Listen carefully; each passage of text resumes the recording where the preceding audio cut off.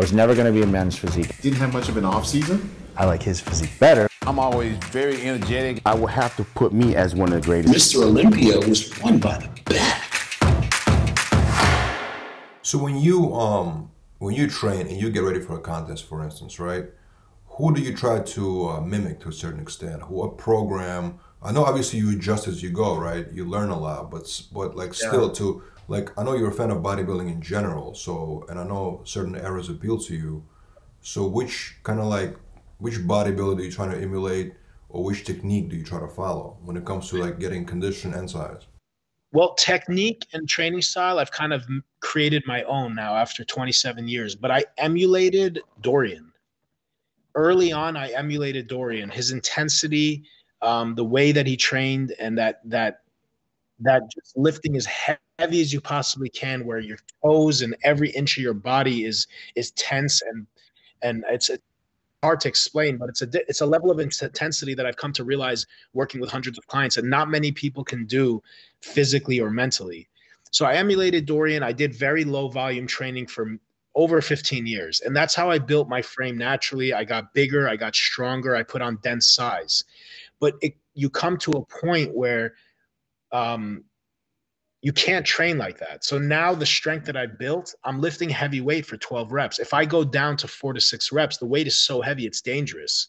You know, at my age now, Dorian was retired. Uh, I don't know Ronnie was when he retired, but a lot of these guys were retired.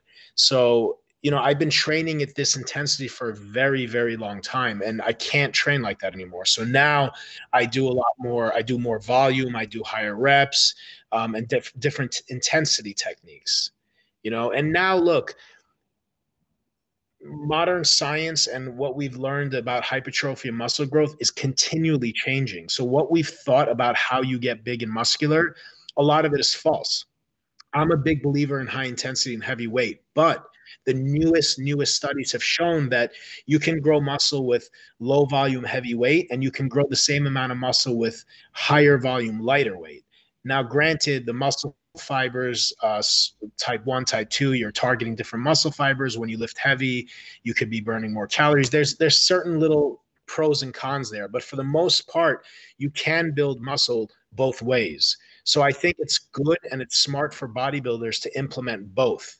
Training like Dorian is is very very taxing and not a lot of people can handle that year round i did it year round without any breaks. Do you think it's better like for example right i know i know people do drop sets right but do you think it's better to do the whole exercise as a drop set? Like meaning like let's say you bench let's say you max is you know 300 pounds on a bench or whatever it is right 300 so you start with that and then you go backwards. So that way you know you go with the heaviest when you do strongest right when you're still fresh and then you kind of decline and you still can do more on the lighter weight. does that make sense? Yeah, I call that a reverse pyramid. But the problem with that is, I did that the other day. Actually, it's funny you mentioned that. You got to be warmed up. So on my second exercise of legs, I did that. Instead of I said, okay, last last week or last month, I ended up with five plates on this on each side. So I'm not going to go two, three, four, five. I just put on five and then I worked downwards. But you got to be careful because when you start a new movement or you start training a new muscle, you don't want to just put a really heavy load onto your onto your body. It's dangerous. One, it's dangerous, and another thing is, bro, we're human beings. We're not. We're, bo- we're our bodies are not meant to be bodybuilders. So when you go in the gym and you lift a heavy weight and you're trying to train chest, your body doesn't give a shit that it's chest day. Your body doesn't know that you're trying to grow your chest. Your body says, "Let me get this heavy weight off of me." So you're using your chest, you're using your delts, you're using your triceps, and even your lats. So when you guys go into the gym, you got to warm up. It's not just for safety and injury prevention, but you have to send blood and get a pump in the muscle that you're training and get that mind muscle connection. So always the first few sets that I do, I do double the reps.